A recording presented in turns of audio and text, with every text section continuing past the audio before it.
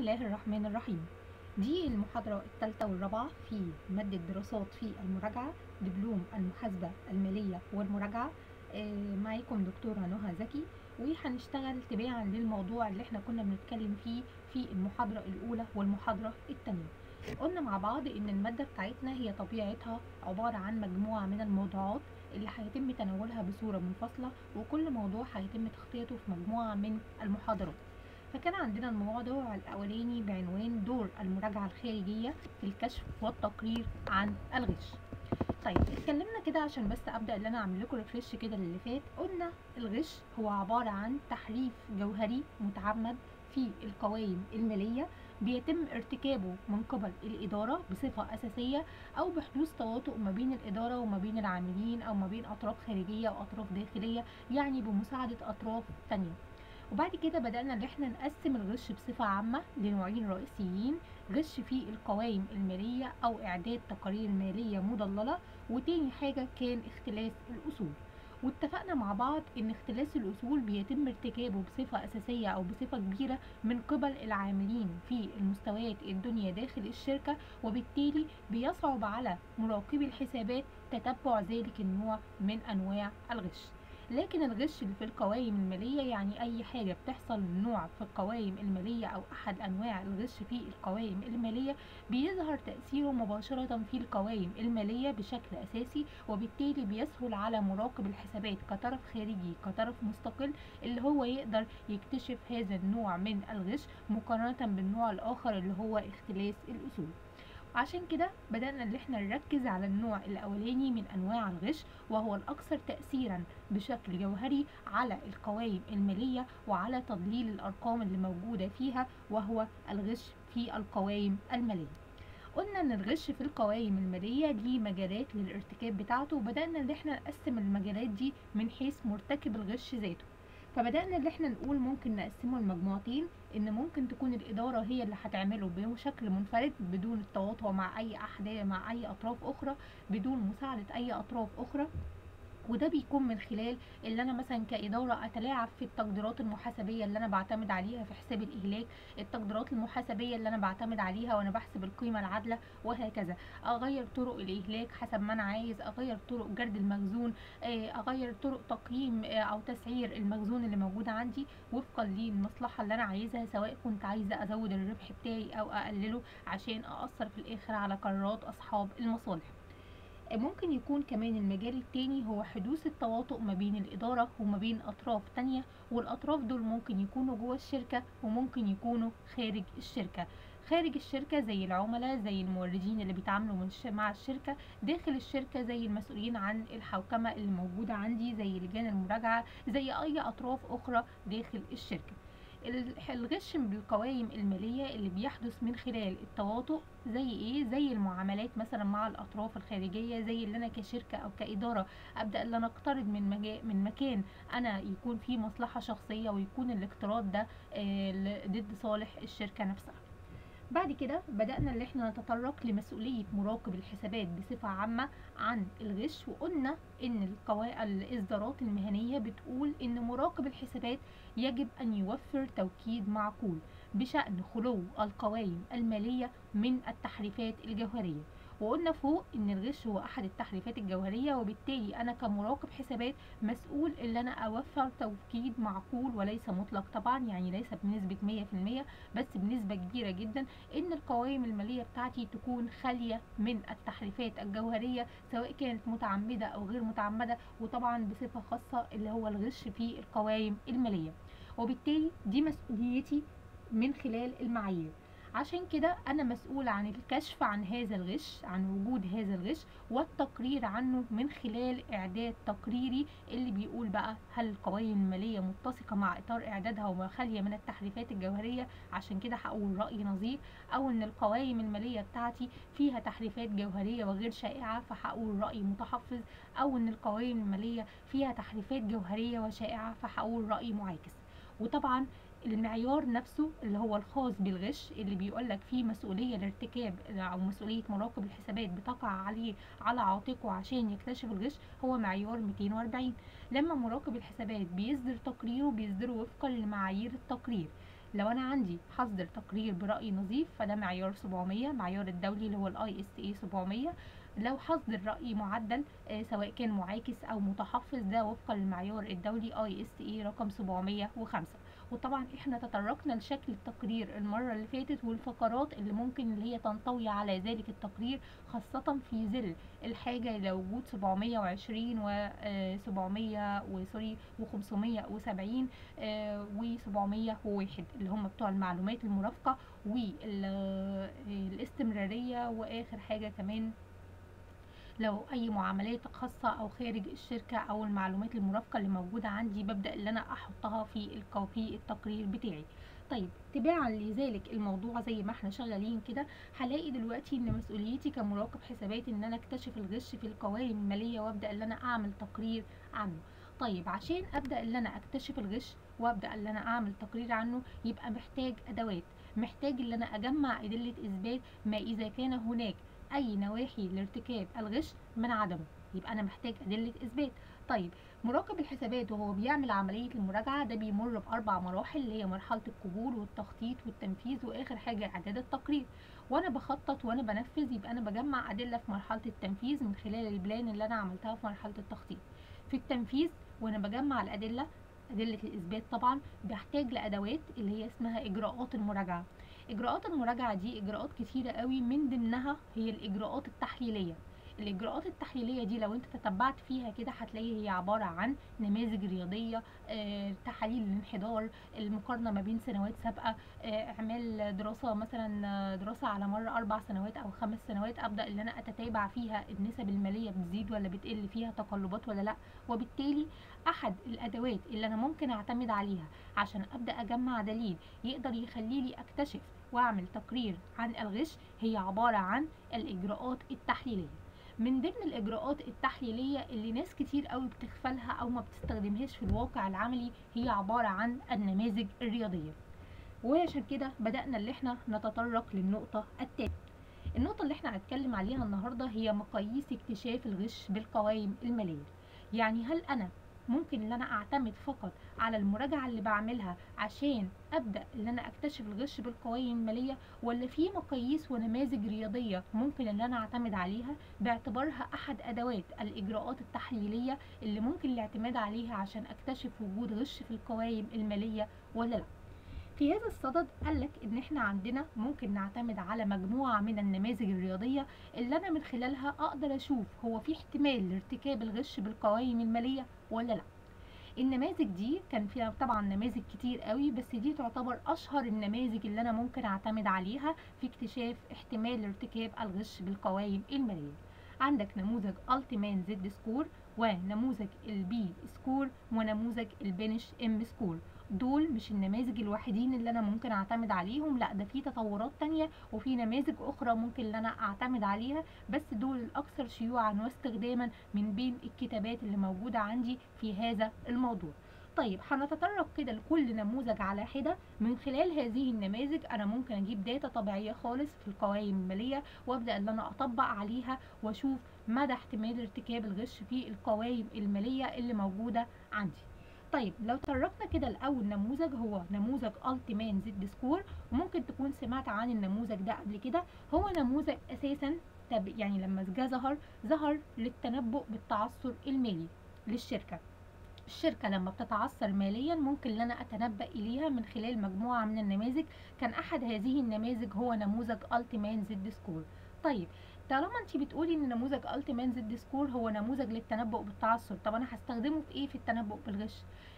عندنا مفروض إن أنا لما الشركة تتعثر ماليا ده بيعتبر حافز ليها لارتكاب الغش. يعني أنا كشركة مش عايزة أظهر متعثرة ماليا مش عايزة ألجأ لحدوث تصفية. يبقى وبالتالي عشان أتجنب حدوث الأثر السلبي ده ممكن إن أنا أتلاعب بالقوائم المالية لعدم إظهار تعثري المالي لأصحاب المصالح. وبالتالي كان مؤيدي هذا النموذج بيقولوا ان أنا ممكن اعتمد على التنبؤ بالتعثر المالي كإنذار مبكر للمتطلع لهذا النموذج اللي يقولك إن الشركة دي فيها ارتكاب للغش ولا لأ.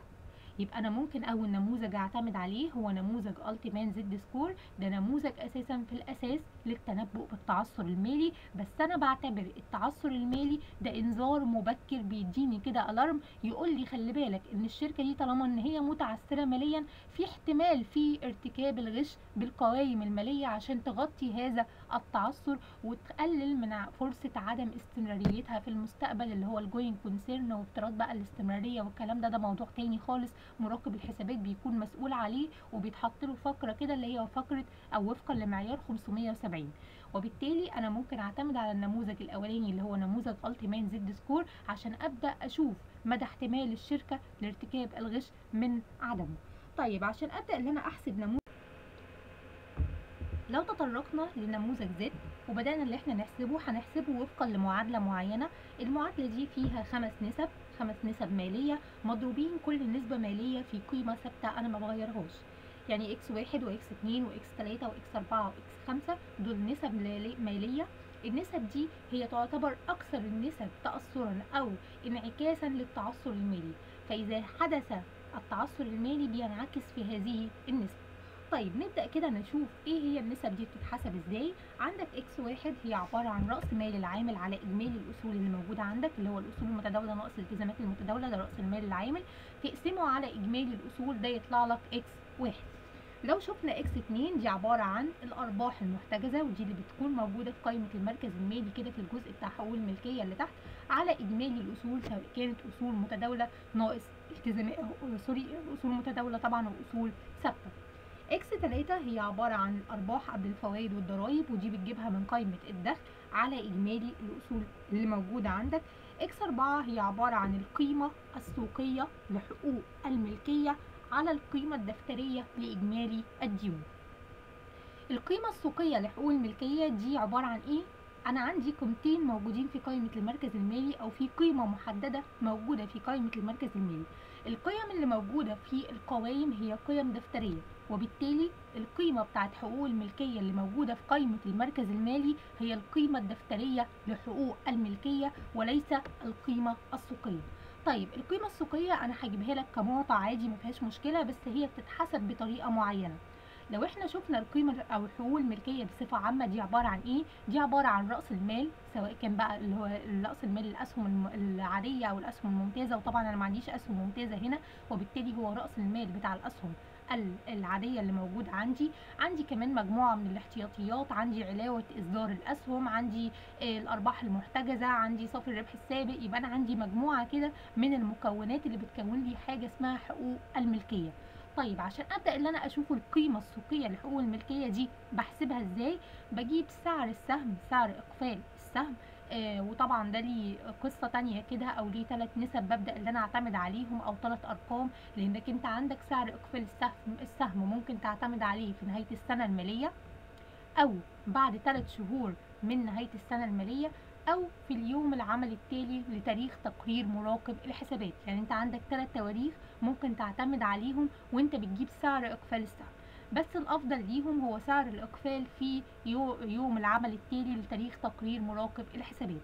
ببدأ إن أنا أجيب سعر الاقفال ده وأضربه في عدد الأسهم العادية المتداولة القائمة اللي الشركة بتعتمد عليها. ولو عندي أي أسهم خزينة ببدأ إن أنا أطرحها. لو عندي أي أسهم ممتازة ببدأ إن أنا أستبعدها. وابدا أضرب الاثنين دول في بعض يديني القيمة السوقية لحقوق الملكية. أنا الرقم ده هديهولك كرقم معطى فما تشغلش بالك بس الرقم ده عشان تخلي بالك كده إن هو مش بيجي من القوائم المالية مباشرة لأ ده بيتم حسابه بشكل آخر بخلاف الحاجات اللي موجودة في القوائم المالية. آخر نسبة هي عبارة عن إكس 5 وهي عبارة عن صافي المبيعات على إجمالي الأصول. يبقى أنا من خلال لو أنا عندي أي شركة القوائم المالية بتاعتها متاحة أقدر إن أنا أحسب النسب الخمسة دول كلهم. يعني لأن كل الأرقام اللي موجودة أو كل المعطيات والمعلومات اللي أنا محتاجها هلاقيها في القوائم اللي موجودة عندي للسنة المالية اللي أنا بحسب عنها التعثر أو خلينا أكثر دقة كده بتنبأ بمدى احتمال ارتكاب الغش من عدمه في هذه السنة من خلال نموذج التيمان زد سكور النسبة الوحيدة اللي انت هتحتاج تحسبها مش هتكون موجودة كمعطى هي نسبة القيمة السوقية لحقوق الملكية. دي مش هتلاقيها مباشرة موجودة في القوائم المالية وبالتالي دي بيتم حسابها بشكل مختلف عن ما تم وجوده في القوائم المالية. يعني الأرقام كلها أرقام دفترية عدا القيمة السوقية لحقوق الملكية اللي بحتاجها وأنا بحسب النسبة X4 طيب النموذج ده بعد ما أنا بستخدم المعادلة أوكي وحسبت الأرقام طلع لي رقم. طيب أنا أحكم بقى منين هي الشركة دي فيها تعثر؟ يعني قصدي فيها احتمال لارتكاب الغش ولا لأ؟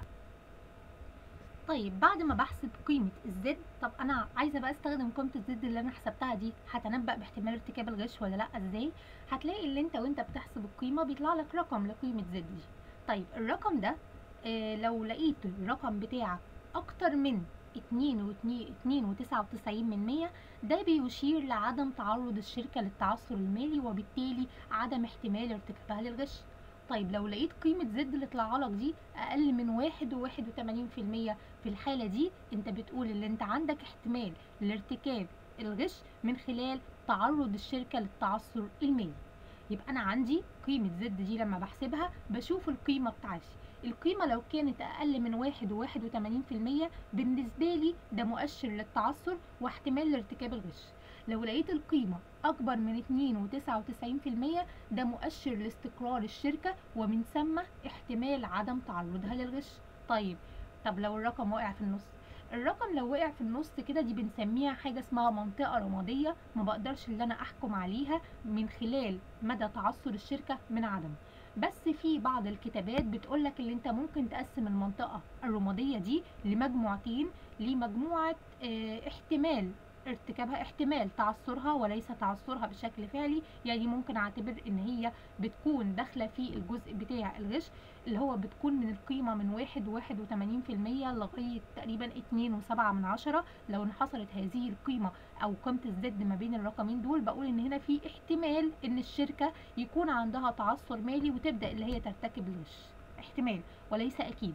لكن لو القيمة وقعت ما بين من اتنين وسبعة من عشرة لغاية اتنين وتسعة وتسعين في المية هنا بقول إن في عندي تأثير آه أو في احتمال بس بيكون بشكل غير جوهري. يعني ممكن ما اعتدش بيه أو ممكن إن أنا أعتبرها إن هي مستقرة ماليا يعني هي ما عندهاش احتمال لارتكاب أو التعرض للغش اللي موجود عندي.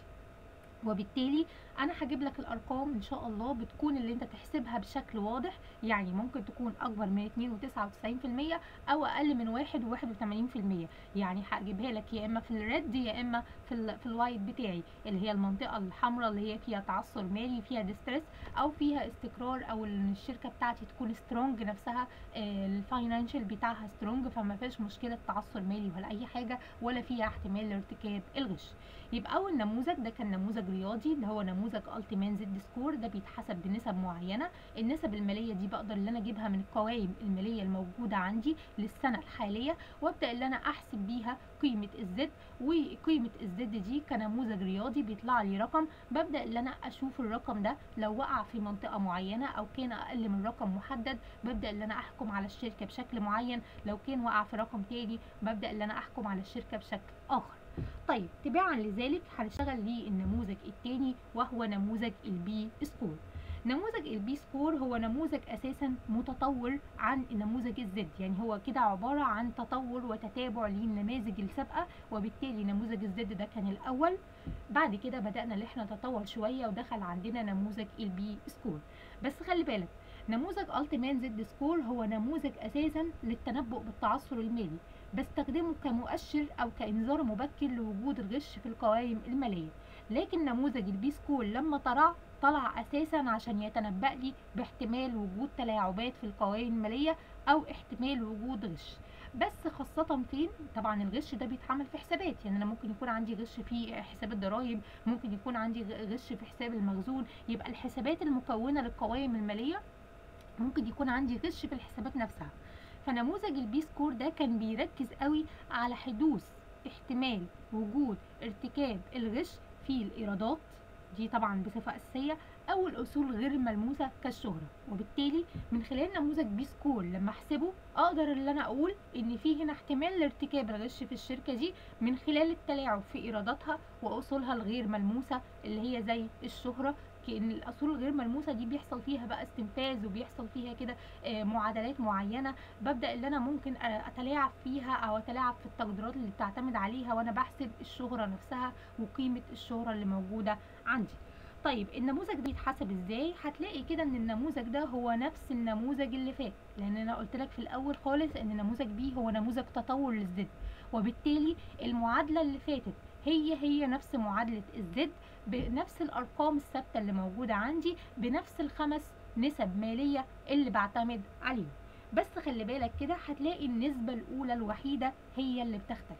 وأنت بتحسب ال Z هتلاقي X واحد دي عبارة عن رأس مال العامل مقسومة على إجمالي الأصول لكن هنا بتجيب القيمة الدفترية لحقوق الملكية من القوائم المالية وتقسمها على إجمالي الأصول. لكن النسب الباقية هما نسب ثابتة زي اللي فاتوا بالظبط. نفس النسب بالظبط تاني نسبة اللي هي ال X 2 هي عبارة عن أرباح محتجزة على إجمالي أصول. X 3 هي عبارة عن أرباح قبل الفوائد والضرايب على إجمالي الأصول. X 4 دي عبارة عن قيمة سوقية لحقوق الملكية على قيمة دفترية لإجمالي الديون. و X 5 هي عبارة عن صافي المبيعات على إجمالي الأصول. لو ركزت معايا قوي كده في النموذج ال P ونموذج ال Z هتلاقي X واحد واثنين وتلاتة وخمسة كلهم بقسمهم على إجمالي الأصول فالمقام عندي ثابت.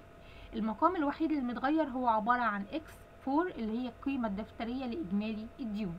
كل الأرقام اللي موجودة عندك دي قيم دفترية بتقدر تجيبها من القوائم الماليه سواء كانت قائمة مركز مالي أو قائمة دخل. طبعا هم مش دول الوحيده أنا عندي قائمة التدفقات النقدية عندي قائمة الدخل الشامل عندي قائمة التغير في حقوق الملكية يبقى دي في قوائم تانية.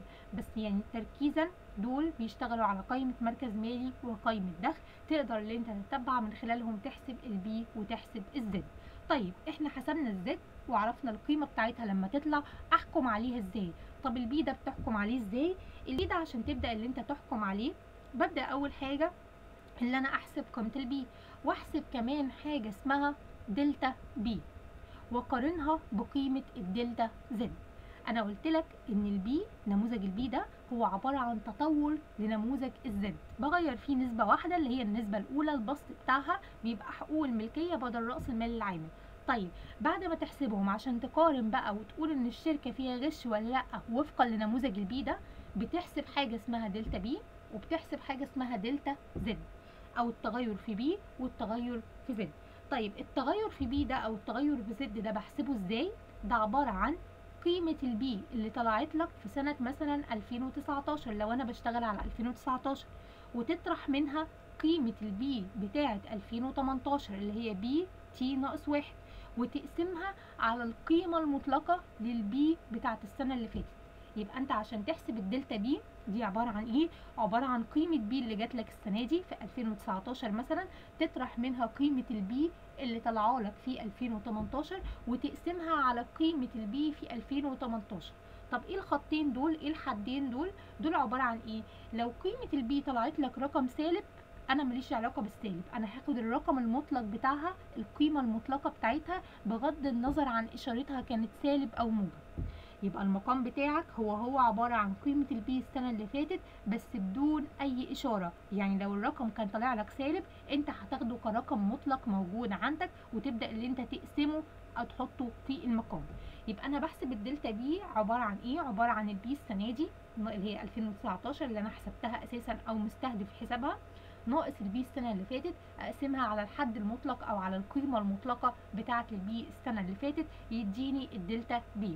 وهكذا أحسب الدلتا Z اللي هي هتبقى عبارة عن إيه؟ هتبقى عبارة عن Z السنة دي ناقص Z السنة اللي فاتت على القيمة المطلقة ل Z السنة اللي فاتت.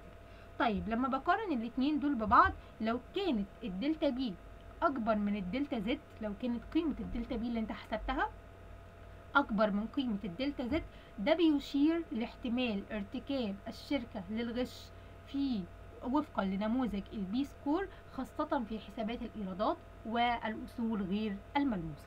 يبقى أنت لغاية دلوقتي كده عندك نموذجين تقدر اللي أنت تعتمد عليهم. أول نموذج كان نموذج Altman Z score ونموذج Altman Z score قلنا اللي فيه معادلة وبيطلع لي رقم الرقم ده بقدر أحكم عليه هو فيه غش ولا لأ أو فيه تعثر مالي ولا لأ ومن ثم في احتمال لارتكاب الغش. تاني نموذج هو كان نموذج للتطور بتاع ال Z وبالتالي كنت بحسبه بمعادلات معينة وأبدأ إن أنا أجيب دلتا P وقارنها بالدلتا Z لو كانت الدلتا P أكبر من الدلتا Z ده بيشير لاحتمال ارتكاب الشركة للغش وفقا لنموذج ال P score اللي موجود عندي وأقول إن هي هتتلاعب خاصة فين؟ في حسابات الإيرادات والأصول غير الملموسة. طيب ننتقل كده للنموذج الثالث وهو نموذج ال Beneish M ونموذج ال Beneish M هو نموذج برضو رياضي وأكثر شمولا من نموذج ال Z ونموذج ال P. النموذج ده بيعتمد على 8 مؤشرات مجموعة من المؤشرات كده زي مثلا مؤشر العملاء زي نمو المبيعات زي مؤشر الإهلاك آه زي مؤشر جودة الأصول زي مؤشر نسبة الرفع المالي زي مؤشر آه إجمالي الاستحقاقات. هم عبارة عن 8 مؤشرات أو 8 نسب بيتحسبوا بشكل معين كده بالاعتماد على الأرقام السنة دي والسنة السابقة. وأبدأ إن أنا أحسبهم على نفس النظام وفقا لمعادلة وأبدأ إن أنا أجيب قيمة ال M اللي موجودة عندي عشان وفقا لنموذج ال Beneish M وبالتالي نموذج ال Beneish M ده عشان أبدأ إن أنا أحكم من خلاله بحسب قيمة ال M ومن خلال قيمة ال M دي لو طلعت لي رقم محدد بقول إن هنا في احتمال لارتكاب الغش أو في احتمال لتعرض الشركة للغش من عدمه طيب نموذج M ده بيتحسب إزاي؟ هي معادلة كبيرة قوي كده. فيها 8 مؤشرات زي ما قلنا اللي هو ال D ال DSRI مثلا والجي ام اي والاي كيو اي والاس جي اي والجي اي بي اي والاس جي اي اي والتي اي تي اي والال في جي اي طيب دول عبارة عن 8 مؤشرات مالية. آه معادلاتهم تقيلة شوية فأنا مش عايزاك مش هطلب منك اللي أنت تحسبها لي لأن المعادلات بتاعتها آه هتحتاج منك فترة كبيرة قوي وهي معادلات يعني مركبة نوعا ما بتعتمد على أرقام السنة دي وناقص الارقام على أرقام السنة اللي فاتت هي كلها نسب مالية طبعا. فببدأ إن أنا أحسب البسط بتاعي اعتمادا على السنة دي مش كلها في نسبة معينة منهم. وبقسمها على النسب أو نفس الرقم بتاعي السنة اللي فاتت وأبدأ إن أنا أشوف كل نسبة منهم كده من خلالها أقدر إن أنا أحكم إن في هنا غش في المنطقة دي ولا لأ. بس كل اللي أنا عايزاك تعرفه هي المعادلة نفسها. يعني أنت هتحفظ لي المعادلة بالأرقام بتاعتها كده الثابتة زي معادلة Z زي معادلة ال P بس هنا الفرق ما بين الاثنين اللي أنا هناك في ال Z وال P هجيب لك إكس 1 واكس 2 إكس 3 4 و5 تبدأ إن أنت تحسبهم. لكن ال M هنا أنا هجيب لك قيمة ال DSRI دي عبارة عن إيه؟ ال GMI دي عبارة عن إيه؟ ال AQI دي عبارة عن إيه؟ ال SGI دي عبارة عن إيه؟ وال DEPI عبارة عن إيه؟ يعني هجيب لك كل النسب اللي موجودة عندي. لو إحنا بس قلنا عرفنا أساميهم كده هي الدي اس ار دي عبارة دي اس ار اي اللي هي أول مؤشر عندك. ده عبارة عن مؤشر للعملاء وده عبارة عن عملاء على مبيعات على العملاء اللي هي تعتبر نسبة المبيعات أو مقارنة نسبة المبيعات المسجلة في حساب العملاء في السنة دي على السنة السابقة. ال GMI ده مثلا ده عبارة عن هامش الربح اللي موجود عندك وده ليه نسبة معينة أو نسبة هامش الربح. ال AQI ده عبارة عن جودة الأصول وده بيعتمد كده شوية على نسب الأصول الغير ملموسة وببدأ إن أنا أقسمها على إجمالي الأصول. كل نسبة طبعا ليها تفسير محدد أنا ليه بعتمد عليها أو اشمعنى النسبة دي مش نسبة تانية يعني. ال SGI ده عبارة عن نمو المبيعات أو مقياس المبيعات اللي موجودة عندي. ال DEPI ده ده ليه مؤشر للإهلاك ومصروف الإهلاك اللي أنا بعتمد عليه. ال SGAI ده ليه علاقة بالمصروفات البيعية والإدارية اللي موجودة عندي. ال TATA دي عبارة عن إجمالي الاستحقاقات. مقسومة على إجمالي الأصول والاستحقاقات دي ليها طريقة تانية ببدأ إن أنا أحسبها برضو ال LVGI دي نسبة ليها علاقة بنسبة الرفع المالي. طيب بقى عموما أنا ببدأ إن أنا أحسب الأرقام دي بشكل مؤشرات أو بشكل معادلات وأبدأ إن أنا أجيب قيمة ال M وخلي بالك المعادلة ال M الوحيدة غير ال Z وال P اللي فيها رقم ثابت في الأول. يعني ال Z وال P على طول قيم مضروبة في ال X 1 و 2 و 3 لكن هنا عندي قيمة ثابتة في الأول اللي هي minus 4.084 أو minus أربعة وأربعة وتمانين من مية. دي قيمة ثابتة. وأبدأ بعد كده في قيم تانية مضروبة في كل رقم على حدة أو كل مؤشر أو كل نسبة موجودة عندي على حدة. طيب بعد ما بحسب ال M دي ببدأ إن أنا أشوف قيمة ال M دي عبارة عن إيه. لو كانت قيمة ال M أكبر من أكبر من minus اتنين واتنين وعشرين في المية ده بيشير لاحتمال ارتكاب الغش في القوائم المالية بالشركة دي. يبقى انت عندك كده كل نموذج ليه قاعدة أقدر من خلالها احكم على ارتكاب الغش من عدمه في الشركة دي. فالام عندك هنا بتبدأ تحسبه والرقم اللي يطلع لك ده لو كان الرقم بتاعك اكبر من 2 و22% ده بيشير لاحتمال ارتكاب الغش بالقوائم المالية. طيب هو أنا ممكن أعتمد على النسب دي منفصلة؟ آه هو في قاعدة تانية بتقول لك أنا قلت لك إيه؟ قلت لك إن كل نسبة من النسب دي بتتحسب بشكل معين أو نسبة مئوية معينة.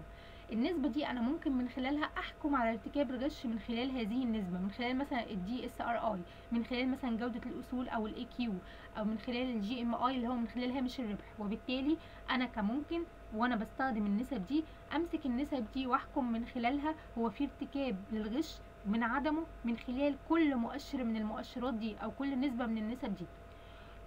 في بقى قاعدة تانية. لو أشار اتنين أو أكتر من هذه النسب اللي هم التمانية أقدر أقول إن الشركة دي فيها غش. بس إحنا عشان مش هنحسب النسب دي إحنا هناخد قيمة ال M مباشرة وبالتالي أنت القاعدة اللي عندك بتقولك لو كانت ال M أكبر من اتنين واتنين minus اتنين واتنين وعشرين في المية ده بيشير لاحتمال ارتكاب الغش بالقوائم المالية. طيب يبقى إحنا كده خدنا ال Z وخدنا ال P وخدنا ال M وكل واحد فيهم ليه قاعدة قرار أقدر إن أنا أعتمد عليها وأنا بحكم على الشركة فيها غش ولا. طيب الدراسات السابقة ما حددتش نموذج مين فيهم الأفضل يعني ما قالتليش اعتمد على ال Z بس ما قالتليش اعتمد على ال P ما قالتليش اعتمد على ال M. طيب عشان أبدأ اللي أنا ما عنديش أفضلية ما بين هذه النماذج أو ما عنديش نموذج هو الأفضل على الإطلاق اللي أنا ممكن أعتمد عليه أنا ممكن أدمج ما بين النتائج الثلاثه وبالتالي أنا بدمج الثلاث نماذج مع بعض يعني بشوف قواعد القرار بتاعة الثلاثه إيه يعني ال Z إيه وال P إيه وال M إيه كل واحد منفصل على حده لو أشار اتنين من هذه النماذج أو أكتر لأن الشركة فيها ارتكاب للغش يبقى بحكم على الشركة ك total من خلال الدمج ما بين الثلاث نماذج إن هي فيها غش فعلا يبقى أنا بحسب ال Z لوحدها ال P لوحدها ال M لوحدها. كل نموذج من دول منفصل بيقول لي الشركة فيها احتمال لارتكاب الغش ولا لأ. بعد كده بدمج النتائج اللي عندي. وأشوف كده لو اتنين منهم قالوا لي إن في غش يبقى الشركة دي فيها غش بالفعل. تمام كده أو فيها احتمال لارتكاب الغش. وبالتالي إحنا مش هنعتمد على كل نموذج على حدة أنا هعتمد على الدمج ما بين النماذج اللي موجودة عندي.